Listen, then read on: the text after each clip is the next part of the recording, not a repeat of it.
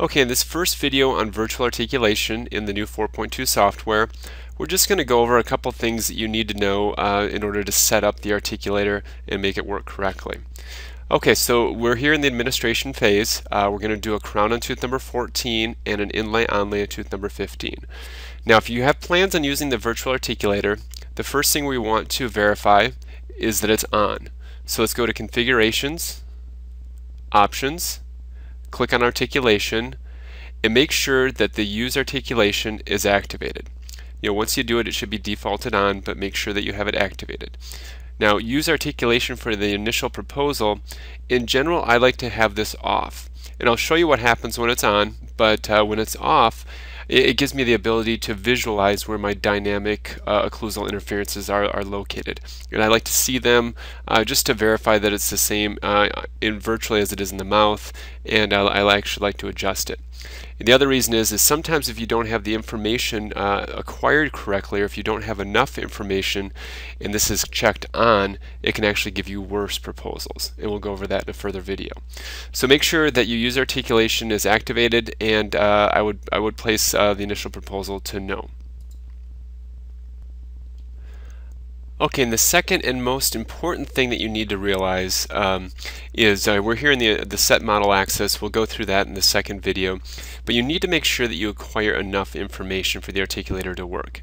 Uh, so often with the blue cam or the red cam before that, we're just used to making these little small models uh, to do just a simple single unit restoration. Now, in order for the articulator to function properly, at a minimum, you have to image to the contralateral canine. Okay, so you see here that we're doing 14, 15, and I imaged all the way over to almost to 28 on the lower. Now that makes uh, good sense and why you would have to have all those images is because in order to do the excursive movements in both directions uh, you usually need the canines to um, uh, to disclude the teeth properly in those movements.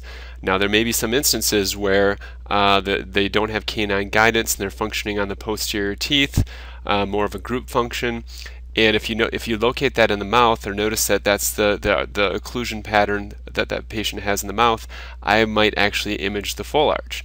So you need to verify that uh, more often than not the patients are having some some sort of canine disclusion.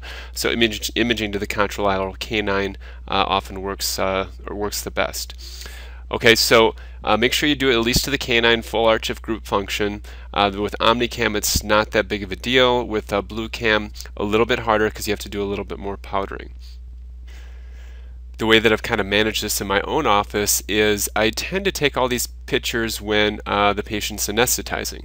So I think about it when the patient's numbing up, I have roughly five to seven minutes of downtime. That's when I when I start imaging. I'll image the opposing all the way to the contralateral canine. I'll image the upper all the way to the contralateral canine, and sometimes even my buccal bite registration.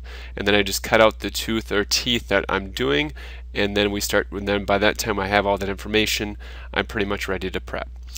So uh, just make sure you have in this video, make sure you have everything set up properly and activated and make sure you acquire enough information for the virtual articulator to work. Uh, in the following videos we'll go through uh, some more of the details on, on uh, how it works.